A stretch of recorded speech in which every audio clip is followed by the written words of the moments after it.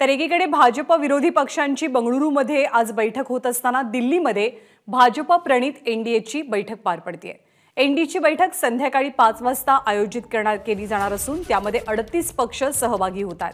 आगामी लोकसभा निवडणुकीसाठीची मोर्चे बांधणी करण्यासाठी भाजपनं या बैठकीचं आयोजन केलंय. या बैठकीसाठी भाजपचे काही जुने मित्रपक्ष सुद्धा उपस्थित राहण्याचा अंदाज आहे. भाजपपासनं फारकत घेतलेले अकाली दलचे सुखबीर सिंग त्याचबरोबर टीडीपीचे चंद्रबाबू नायडू पुन्हा एकदा एनडीएमध्ये सहभागी होतील अशी शक्यता व्यक्त होते सोबतच लोकजनशक्ती पक्षाचे चिराग पासवान यांचंही नाव चर्चेत आहे.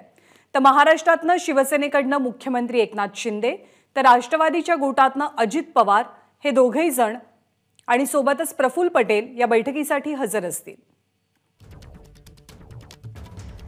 प्रशांत कदम आपल्याला माहिती देतात प्रशांत एकीकडे विरोधकांची बैठक तर दुसरीकडे सत्ताधाऱ्यांची बैठक.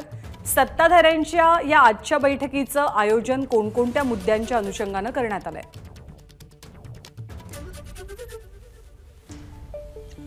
ज्ञानदा तिकडे बेंगलुरूमध्ये विरोधकांची बैठक चारच्या दरम्यान संपेल आणि त्याचवेळी दिल्लीमध्ये एन डी एची बैठक सुरू होणार आहे. विरोधकांच्या बैठकीला सव्वीस पक्ष ह- हजर राहतील असा अंदाज व्यक्त केला जातोय.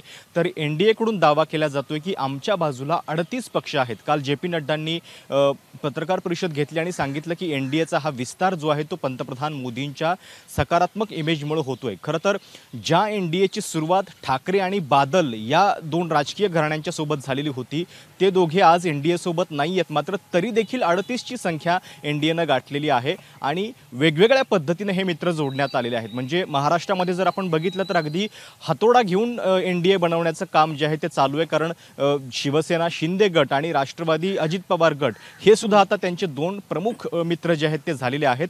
महाराष्ट्रातून जनसुराज्य पक्ष विनय कोरेंचा तो देखील या बैठकीत असणार आहे आणि त्याला देखील अडतीसमध्ये गृहीत धरण्यात आलेला आहे. सोबतच आर पी आय आठवले गट हा सुद्धा एन डी एसोबत असणार आहे.